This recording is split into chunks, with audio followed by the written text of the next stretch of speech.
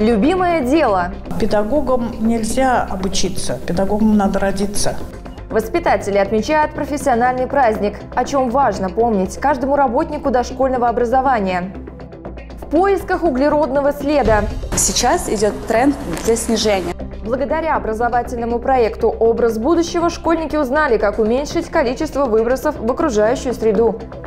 Альметьевцы стали свидетелями жесткой борьбы на поле.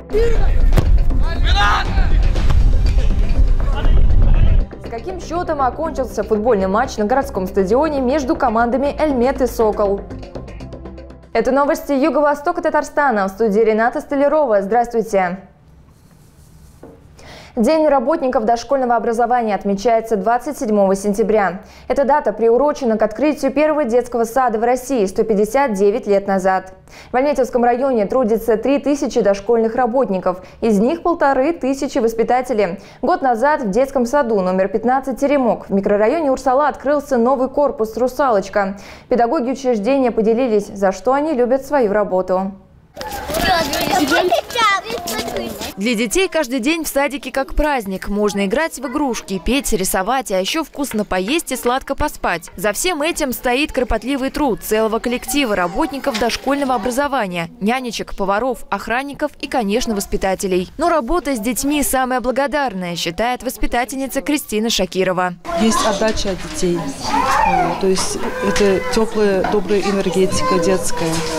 Все, что мы вкладываем, мы потом получаем сто крат от детей уже все возвращается. К многочисленным воспитанникам педагоги относятся с душой, а потому, когда приходит время, с трудом отпускают своих подопечных в уже более взрослую жизнь. Очень сложно, всегда очень сложно с ним расставаться, потому что мы с утра до вечера находимся с ними, с этими детьми, и они уже становятся как родные дети. Очень тяжело, даже когда уходишь в отпуск, переживаешь очень как они здесь, что с ними. Заведующая детским садом Елена Инзерова говорит, что самое главное в работе воспитателя – умение найти подход к любому ребенку с учетом его индивидуальных потребностей. Также педагог должен быть в постоянном контакте с родителями, тогда и ребенку будет комфортно. Педагогам нельзя обучиться, педагогам надо родиться. А вот именно дошкольный возраст, я считаю, что самое главное – это любовь чтобы ребенок чувствовал, что он э, здесь желаем, что его очень рады видеть, а остальное ребенок сам раскроется, покажет однозначно. Ну, конечно, педагоги сейчас должны быть более современно подкованы. Дети у нас растут, они очень много знают. Современные дети подкованные в цифровых технологиях и гаджетах, поэтому педагогам приходится быть такими же разносторонними. Своих коллег заведующая Елена Александровна благодарит и обращается к ним с поздравлением. Я желаю счастья, здоровья в первую очередь и, конечно же, в наше время мирного неба над головой. Это самое главное, которое сейчас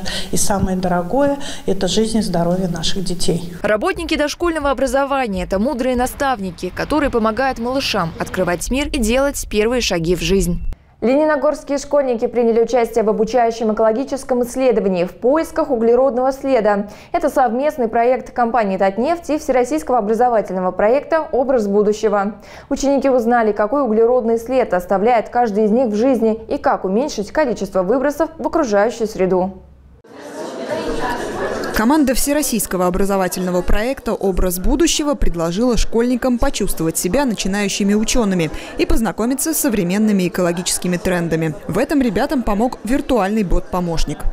Бот нам рассказывал, как лучше относиться к среде, как беречь воздух. Каждый ученик мог рассчитать свой углеродный след и научился принимать меры по его снижению. Ребятам раздали персональные исследовательские чемоданчики. Они выполнены из экологичных материалов – гофрокартона и бумажной стружки из переработанной макулатуры. Внутри полезные подарки – научные комиксы, плакаты и предметы, которые пригодятся в исследовании. Например, аэратор для экономии воды, фонарь на солнечной батарее, фиксатор для велосипеда, светоотражающий браслет для безопасности при ходьбе и другие. Что такое углеродный след? Это совокупность парниковых газов, которые выделяет каждый человек, организация и предприятие. И эм, сейчас идет тренд для снижения, чтобы сохранить нашу экологию. Зеленые тренды набирают обороты. Предприятия ищут способы снизить углеродный след своей продукции, учатся работать по-новому, заботясь об окружающей среде. Экологическая политика – одна из приоритетных и в компании «Татнефть», которая поддерживает проект. Благодаря обучающему исследованию школьники поняли, какой вклад в сохранение природы они могут внести. Ребята узнали, как экономить воду, сделать воздух чище, снизить загрязнение окружающей среды. У меня выпала тема «Школьные уроки» и как должны в школе заботиться об экологии. Ну, например, нужно с собой носить э, многоразовую бутылку, чтобы, опять же, было меньше пластика в окружающей среде. Цель исследования – научить подростков самостоятельно анализировать информацию и ощущать собственную важную роль в вопросе сохранения природы. Проводя расчеты и применяя в быту приемы, снижающие углеродный след, ребята чувствуют ответственность и учатся использовать этот навык в жизни. Дети получили настолько много научного материала, э, информации полезной. Роль начинающих ученых на себя уже примерили и рассчитали свой углеродный след также бавлинские и ознакаевские школьники. До ноября мероприятия пройдут в Нижнекамском, Бугульминском и Заинском районах. Финал состоится в Альметьевске. Эковоспитанию школьников Татнефть придает большое значение, формируя осознанный образ жизни здесь и сейчас. Наталья Лакомкина, новости Юго-Востока. Сегодня ночью загорелась баня на улице Подгорной в Альметьевске. Сообщение о происшествии поступило на пульт диспетчера ночью в 2 часа 11 минут. Прибывшие пожарные ликвидировали огонь на площади 16 квадратных метров. В результате происшествия никто не пострадал. Его причины устанавливаются. В Альметьевском городском суде продолжилось рассмотрение дела о растрате. На скамье подсудимых бывший руководитель гаражного кооператива из Сармановского района. На прошлом заседании защиты просила суд доставить на процесс не явившихся свидетелей. В материалах дела фигурирует 48 тысяч членских взносов, которые, по мнению следствия, растратил подсудимый. Вы сами э, вникали в ведение бухгалтерского учета? Нет, не вникал. У нас члены правления были ревизионная комиссия. Три ревизии выявили недостачу в размере почти 50 тысяч рублей, хотя и в фабуле уголовного дела фигурирует больше 600 тысяч. В каком по счету судебном заседании э, упоминается суммы такие, как 600 тысяч, 700 тысяч.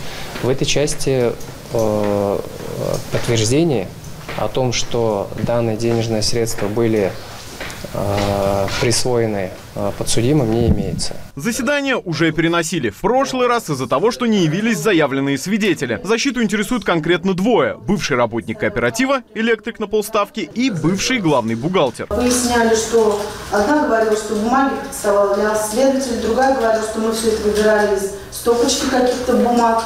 А, то есть все это было ну, непонятно как. Линия защиты все такая же прямая. Проверки проводили некомпетентные специалисты, а главный бухгалтер, на тот момент даже не трудоустроенная, подбивала отчетность мимо всех нормативов. На этот процесс один из свидетелей все-таки явился. За время вашей работы один бухгалтер работал, два, три, не помните?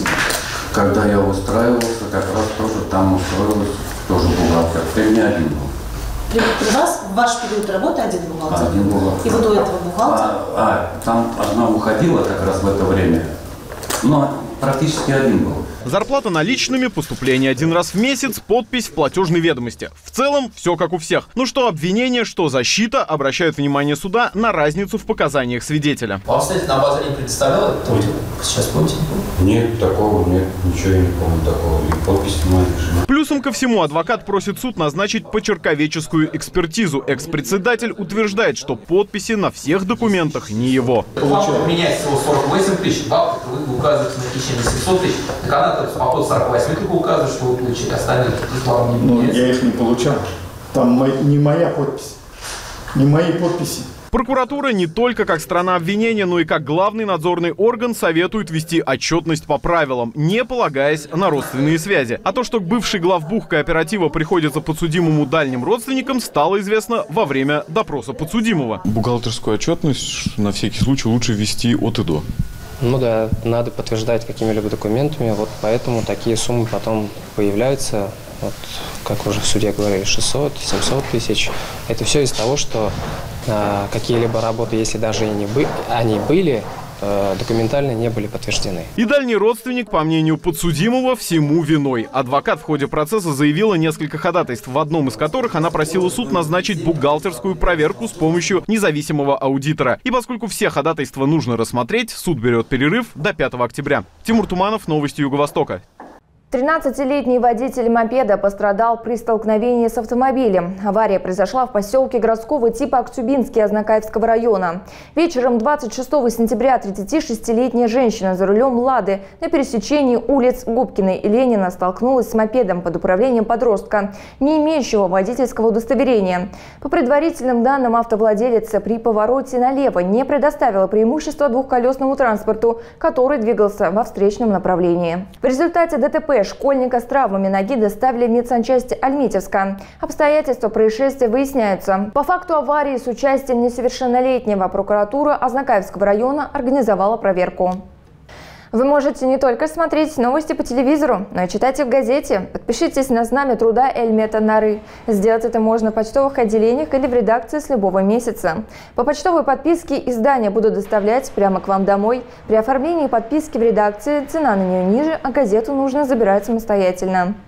На периодику можно подписаться и не выходя из дома. Для этого нужно зайти на наш сайт и перейти по ссылке через баннер. А еще таким простым способом можно сделать подарок близким, подписав их на любимые издания. Подписаться можно и на оставшиеся месяцы этого года, и на первое полугодие следующего. Телефон для справок 32 59 81. Еще больше новостей вы можете найти на нашем сайте almetis.ru.ru. Делитесь и вы с нами интересными новостями, пишите о радостных событиях и сообщайте о проблемах. Сделать это можно по номеру WhatsApp и через соцсети. Мы продолжаем выпуск и вот о чем расскажем далее.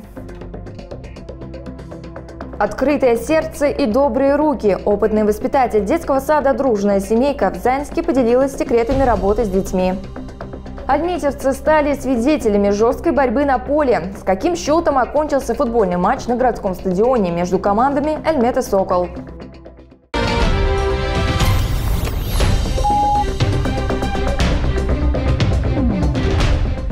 Зайнские педагоги дошкольных учреждений тоже отметили профессиональный праздник. Воспитатель детского сада «Дружная семейка» поделилась секретами работы с детьми. Подробнее в сюжете. Что получилось у вас?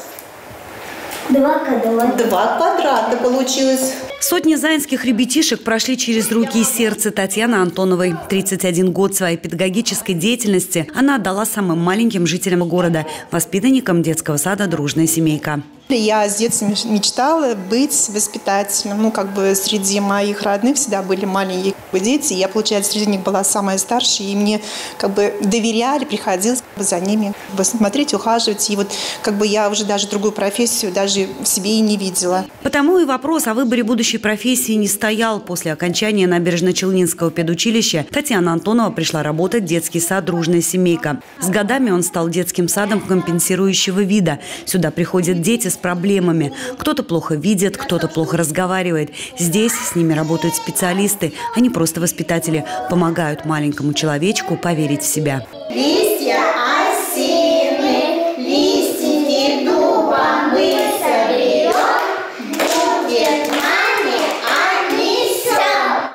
профессионал своего дела. Она очень грамотно владеет методикой именно для детей с нарушениями речи. А, всегда к ней можно обратиться за любым советом, за помощью. Может оказать любую помощь родителям, посоветовать что-то.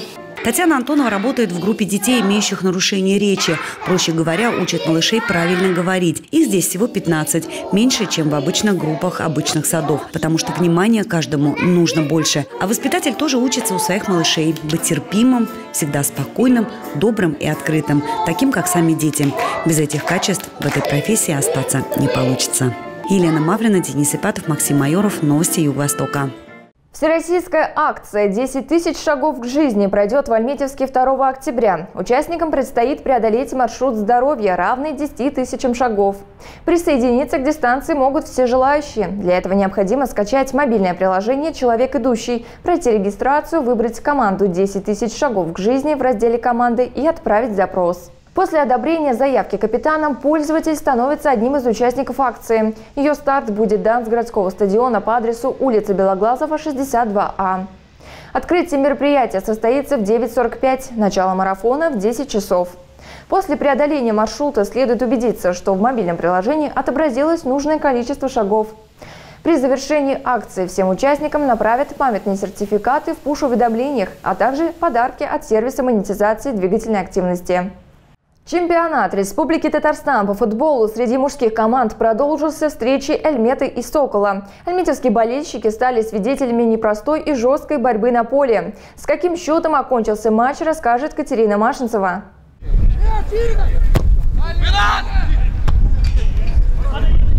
Казанский «Сокол» и нефтеградовский «Эльмет» буквально схлестнулись на поле. Футболисты заряжены с первых минут. С самого начала они держат болельщиков в напряжении.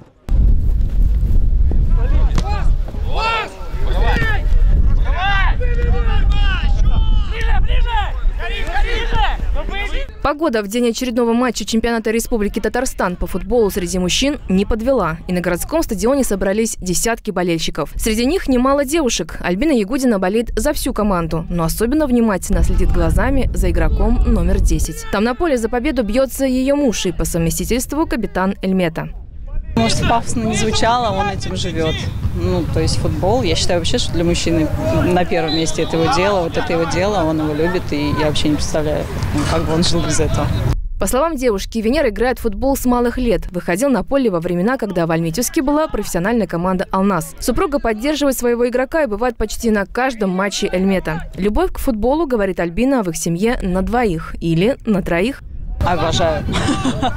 У нас даже кота зовут Месси в честь Лионеля Месси. Да, очень нужна поддержка близких обязательно. Ну и поддержка города, конечно, не мешала бы. Потому что, ну, честно говоря, футбол в городе не поддерживает. Ну, то есть так, на периферии он считается. Хотя такой массовый вид спорта, ну, очень популярный везде.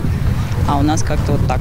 Это решающий матч за бронзовые медали. Сдаваться никто не собирался. Эльметовцы едва не пробили ворота «Сокола», но счет не был открыт. Очевидно, расстроенный неудачной атакой, 13-й игрок допустил нарушение правил.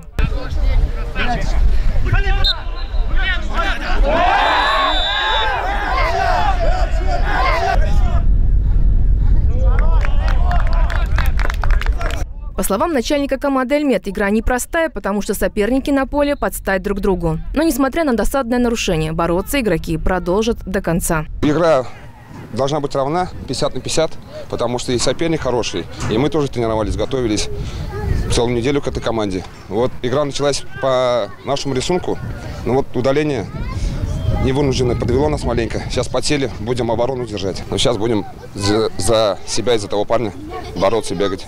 Боролись до последнего, но первый тайм завершился с нулевым счетом. На втором отрезке игры на 76-й минуте единственный мяч залетел в ворота Эльмета. Встреча закончилась со счетом 1-0 в пользу «Сокола». 2 октября у альметьевской команды выездная встреча с казанским «Нефисом». 8 октября на домашнем поле они встретятся с чемпионом прошлого года «Эверестом». Катерина Машинцева, Динар Мингазов, Новости Юго-Востока.